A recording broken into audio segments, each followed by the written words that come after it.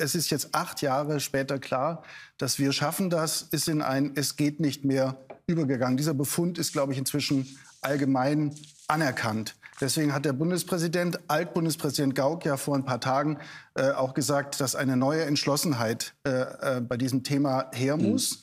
Mhm. Ähm, er hat es nicht ausbuchstabiert. Ich versuche es mal, das kann auch keine Goldrandlösung sein. Aber ich glaube, mit Verlaub, Frau Esken, ihr, ihr Vertrauen und Ihre Hoffnung in diese Migrationsabkommen äh, wird nicht reichen. Also erstens geht es darum, Grenzen zu sichern und zu schützen, zu Wasser und zu Land.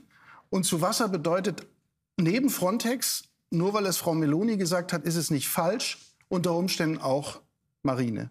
So, dann brauche ich Asyl, Asylzentren an dieser Außengrenze, ich mache es präziser, hm. vor dieser Außengrenze. Also wahrscheinlich schwimmend.